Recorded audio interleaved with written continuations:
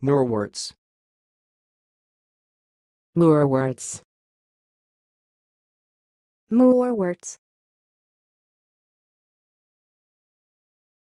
Thanks for watching. Please subscribe to our videos on YouTube.